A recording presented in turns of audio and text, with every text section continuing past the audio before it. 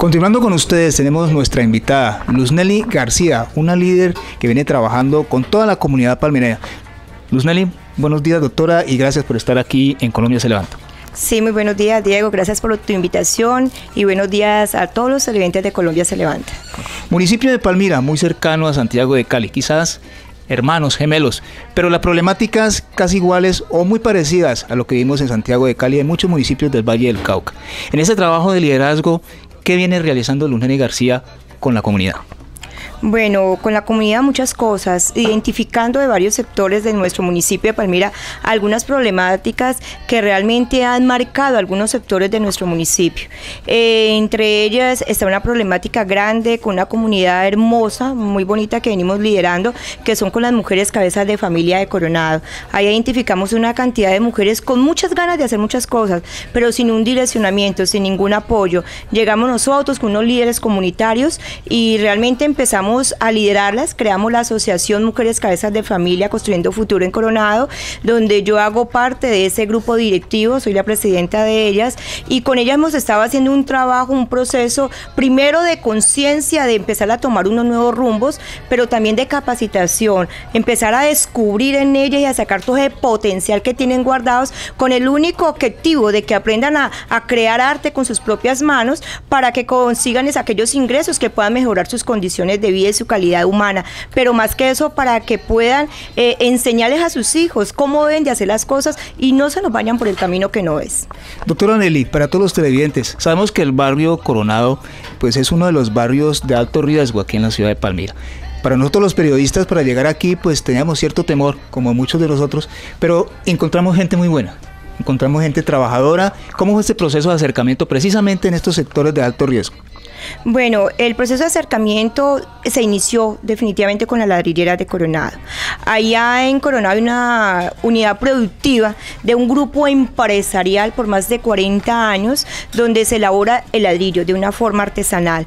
Ellos me llamaron conociendo eh, el tipo de trabajo que yo hago y en los entes que me desenvuelvo para que les ayudara a responder una problemática y una carta de amenaza. Se sintieron ellos que les mandaron varios entes gubernamentales como son los que se organizaban o serían desalojados, sin importar lo que eso podía ocasionar. Pues si hemos sido eh, causantes de una problemática que se habla de contaminación, pues ahorita vamos a hacer los que llamamos la propuesta a esa solución. Veamos nosotros directamente a la administración municipal una propuesta para mitigar toda esa necesidad y toda problemática del barrio Coronado.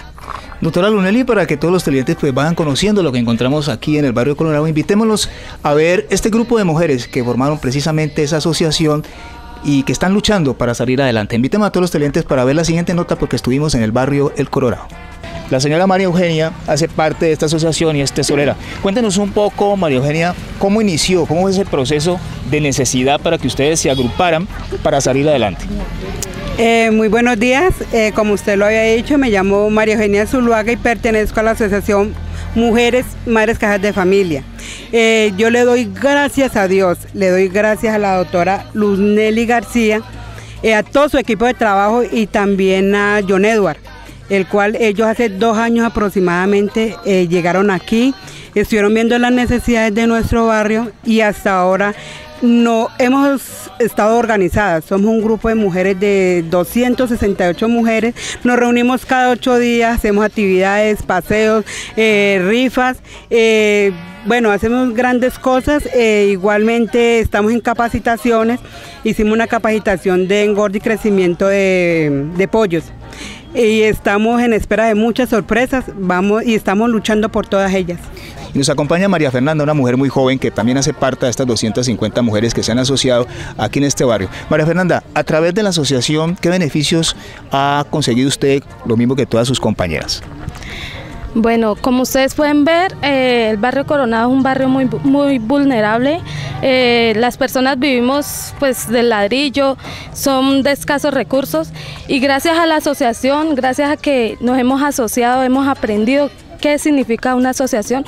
Y pues gracias a esto y a la doctora Nelly también que nos ha traído unos subsidios eh, de alimentación que muchas de nosotras nos hemos favorecido en eso, pues hemos aprendido a, convivir como una asociación, como una familia. ¿cómo ha sido, digamos, la experiencia dentro del grupo, con la misma comunidad, con los jóvenes, con los niños? Muy bien, se ha habido cosas diferentes. Pero básicamente, ¿ustedes qué piensan a futuro? ¿Qué les espera, digamos, en todo el trabajo que ustedes están, a qué le están apuntando fuera de la vivienda, que es muy importante? Que nos cambie el... ¿qué? Sí, seguir trabajando por algún muchas cosas fuera de, la, de las casas, mejorar la calidad de vida. Bueno, amables televidentes, son expectativas, las ilusiones que ustedes, yo y todos tenemos día a día para mejorar nuestra condición. Pero qué importante es que todos ustedes aporten ese granito de arena, los funcionarios, las entidades y todos los que trabajan, los líderes. Vamos a estar hablando con los líderes comunitarios que han empezado ese trabajo hace dos años aquí en este barrio para que ustedes se den cuenta todo ese proceso. Ya regresamos aquí en Colombia se levanta. Colombia se levanta. Televisión hecha para la gente.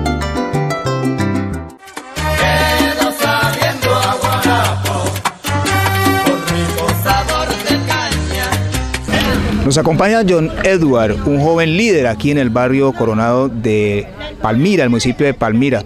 Eh, él lleva trabajando con la comunidad alrededor de dos años, pero que sea John el que nos cuente básicamente cómo ha sido este proceso aquí con toda la comunidad. John, buenos días y gracias por estar aquí en Colombia se levanta. Eh, muy buenos días y gracias a ustedes por permitirnos este espacio tan importante.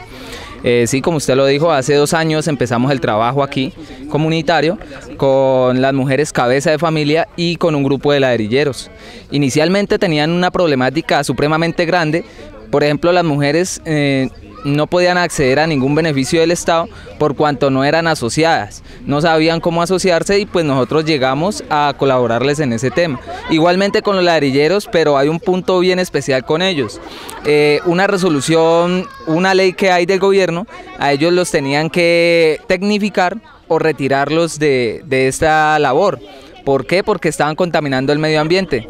Eh, así fue que nosotros constituimos la Asociación de Ladrilleros. Eh, en estos momentos hay 56 asociados y pues enhorabuena, eh, gracias a todo el trabajo que se ha hecho aquí con la comunidad. Queridos televidentes, continuamos aquí en el municipio de Palmira y estamos en una ladrillera que hace 25 o más de 25 años funciona en este sector. Y vamos a estar hablando con doña Gloria Troches, que está aquí hace 25 años. de Gloria, buenos días y gracias por estar aquí en Colombia se levanta. Muy buenos días. Eh, gracias a ustedes por venir. Doña Gloria, para todos los televidentes del Valle del Cauca, caleños colombianos, cuéntenos un poco en qué consiste el proceso de lo que es la ladrillera. Vemos que aquí pues está el horno de cocido. Bueno, cuéntenos un poco sobre eso. Sí, este es un proceso muy artesanal, ¿cierto? Eh, nosotros hacemos ladrillo a mano, que como aquí lo podemos apreciar. Eh, producimos farol rústico porque no tenemos la, la capacidad económica para producir el limpio, que es lo que está mandando actualmente en el mercado. Pero ¿esta fabricación de este tipo de ladrillos los perjudica por esa falta, digamos, de demanda en el mercado? Eh, este, pues la administración municipal ha querido terminarnos eh, a que se acaben estas ladrilleras porque la contaminación ambiental por el proceso del quemado, pero nos están dando unas alternativas a que lo hagamos crudo, pero no sabemos qué resultado nos va a dar porque eh, apenas está en estudio y de todas maneras no sabemos si la gente acoja este tipo de material o no, porque nosotros le, las personas que nos compran a nosotros son cada individuo que va a hacer su casa no son las grandes urbanizaciones las que nos compran, con las que se hace el mercado este material. Este material es para cada persona que va a hacer su casa, que quiere hacer arreglos cuando le entregan una casa de una urbanización. De todas maneras, las grandes urbanizadoras contratan es con las ladrilleras grandes con las que tienen el proceso, la nueva tecnología, que tienen capital con qué hacer esto. Doña Gloria, usted lleva, me decía, fuera de cámaras, más de 25 años, 40 años llevan aquí la ladrillera en el barrio Coronado de Palmira. ¿Cómo ha sido ese proceso durante todo ese tiempo? Bueno, de lo que yo tengo entendido, hace más de 56 años que funcionan aquí en Coronado porque mi papá vino acá en el año 55 a administrar una ladrillera.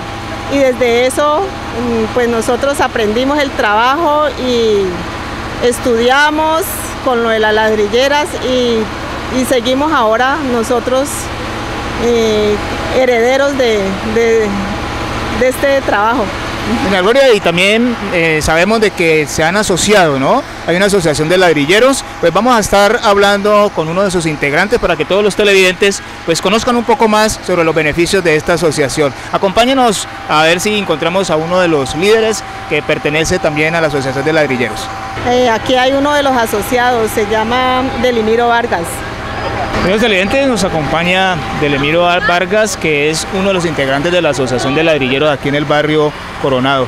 Delemiro, cuéntanos un poco a todos los televidentes cómo ha sido ese proceso y los beneficios que han tenido ustedes agrupándose en esta asociación.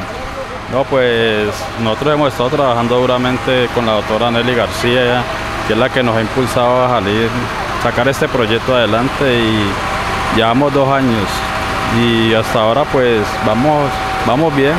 En este momento, ¿cuántos, eh, digamos, propietarios de ladrilleras están asociados dentro de la organización? En este momento sabemos 55 ladrilleras asociadas. ¿Todas pertenecen aquí al barrio? Sí, todas pertenecen aquí al barrio, en Coronado. Y más o menos el historial de ellas, de, digamos, de permanencia en el barrio, hace más o menos cuántos años empezaron? Uy, aquí hay gente que lleva, por decir los antiguos, más de 50 años y los que estamos ahora estamos en un promedio de 20, 25 años. Durante esos tiempos, ¿qué beneficios han obtenido ustedes por parte de la administración municipal? No, hasta ahora ninguno. Ningún beneficio hemos tenido sobre ellos. Siempre hemos trabajado solos. Me comentaba doña Gloria que les exigen, digamos, le han puesto, digamos, problemas, dificultades por la quema del ladrillo, por la contaminación, pero han tenido, digamos, la visita de alguna entidad que les ha sugerido cómo hacerlo, digamos, colocar filtros, la forma de cómo manejar mejor el medio ambiente. Pues nosotros, la CBC nos dio unas charlas y ahora últimamente la Universidad del Valle, que fue la que vino, pero pues todavía no hemos tenido respuesta de nada. ¿Qué mensaje le da a todos los vallecaucanos, especialmente a los ladrilleros, para que, digamos, eh, se beneficien de todo lo que ustedes han alcanzado a través de esta asociación? No, que se unan y trabajen por, por todo, porque esto es algo que genera mucho empleo y prácticamente si esto llegara a desaparecer, usted se imaginaría toda la gente que queda sin empleo. Queridos televidentes, pues ya ustedes ven, hace más de 50 años aquí en el municipio de Palmira existen estas ladrilleras. Yo personalmente no sabía la existencia de ella y quizás muchos de ustedes tampoco. Allá donde ustedes viven, en sus municipios, departamentos y en toda Colombia, existen dificultades y problemáticas quizás iguales o peores que estas. Llámenos. Recuerden el correo de Colombia se levanta y nuestras cámaras estaremos pendientes de todas estas circunstancias. Nos trasladamos al municipio de Rosso y ya regresamos con ustedes.